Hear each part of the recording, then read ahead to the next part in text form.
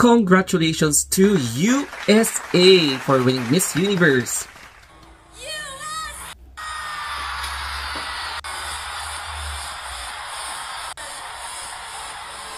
For me, well-deserved talaga ni USA. And the first runner-up is Venezuela, while the second runner-up is Dominican Republic. What makes USA to rise above the rest to win the crown for the universe? And in this video, pag-uusapan natin ang 5 na stunning reasons why Arbuni Gabriel won as Miss Universe. Let's start with the first reason which is the winning answer. It's because obviously competition po ito. And here is the question.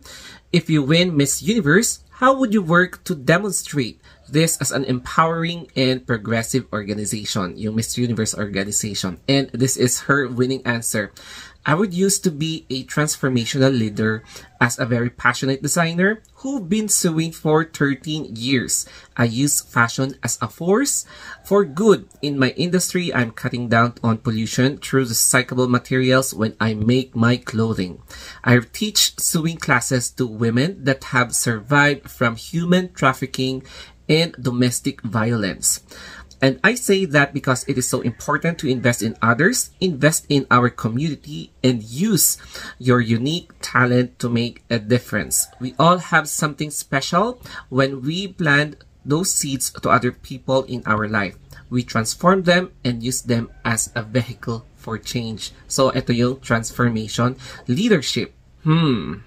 Number two, she really proved herself to be deserving as Miss USA with all the dedication, lahat ng kanyang sacrifice. Kasi when she won Miss USA, ang daming mga nag-post ng kanilang videos like uh, ang sinabi nila, Oh my God, this woman should not be Miss USA because uh, there's a favoritism and I think this pageant is rigged yung mga ganun na eksena. Kaya, alam mo yon nakita natin talaga sa kanya yung passion, yung determination, and yung kanyang, yung will to become the new queen of the universe. Kaya naman, nakita niyo yung kanyang answer, ginamit niya yung kanyang experience as a fashion designer, and empowering talaga yung mga ginagawa niya pagtuturo ng mga sewing to to the future fashion designers na through this talent, magiging somebody sila in the future just like our Buni Gabriel.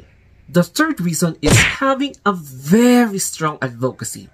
Why? It's because she is a fashion designer and established her own company. So, for how many years yan ha? And she used her company na as a tool to empower yung mga victims of human trafficking and yung mga nabiktima din ng domestic violence na may trauma. So, through suing, she is now helping these people para magkaroon ng way to become productive and as well as to have a therapeutic way to relieve from a post-traumatic stress disorder. And in this in this way, magkakaroon siya ng chance to share her talent para maging future fashion designer sila. And perhaps maging beauty queen in the future like her being a Miss Universe. O, ba diba? Kaya, mm, bongga talaga ang eksena niyang advocacy na ito.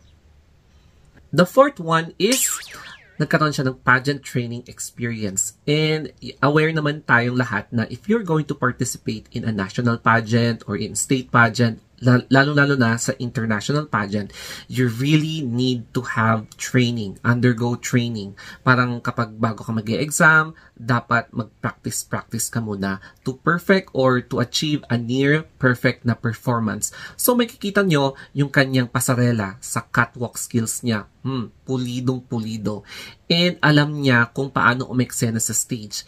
And then, pati na rin sa gown. So, hindi basta-basta na, alam mo yun, kapag rumarampa ka, yung gown mo is, uh, alam mo yun, dapat may right angle, right na, na eksena sa katawan.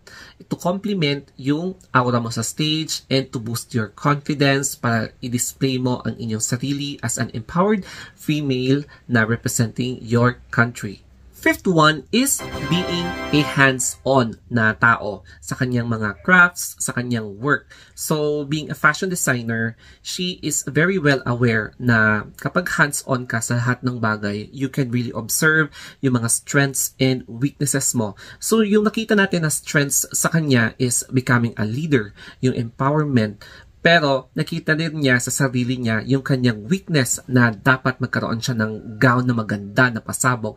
So nag-hire siya ng mga professional fashion designer talaga na well-renowned internationally. Kaya nga, grabe, uh, nakita niya talaga yung advantage if she will acquire the services of this particular profession para ma-elevate ang kanyang skill.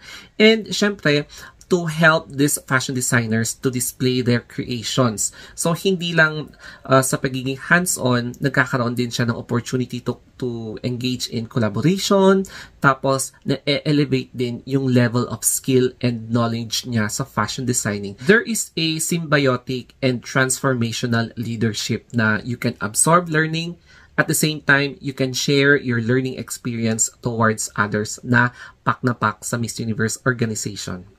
Full package talaga si Arbuni Gabriel na nanalo as Miss Universe 2022. Nakita natin sa kanya na nagsuffer siya ng bullying, cyberbullying, tapos naging independent talaga siya, hands-on siya, tapos, alam mo yun, hindi siya pabebe. Makikita mo nang wala siyang arte. Um, pwede siyang isabak kahit ano, pwede niyang gawin kahit ano, and she is really sharing her experience para ma-empower yung mga people na naka-experience din katulad niya or yung nagkaroon din ng worst experience ng uh, piga, um, ng pagiging victim ng abuse, ng violence, yung mga ganun din.